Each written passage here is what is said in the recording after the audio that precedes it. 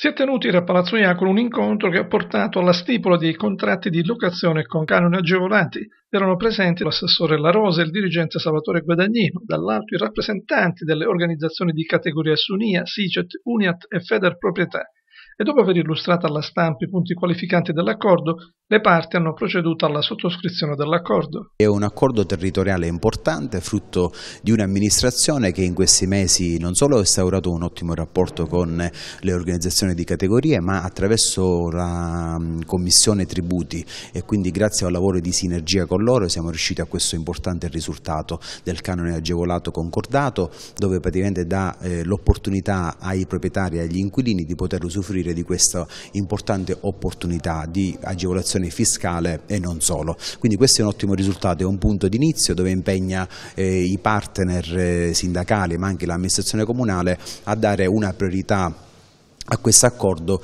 nel prossimo, eh, nel prossimo bilancio. Eh, una sinergia che ritengo fondamentale, ma un ottimo riscontro per la città e per il territorio. Questo è il primo accordo in Sicilia che Feder Proprietà firma con il sindacato degli inquilini, grazie anche alla collaborazione dell'ufficio tributi e dell'amministrazione comunale.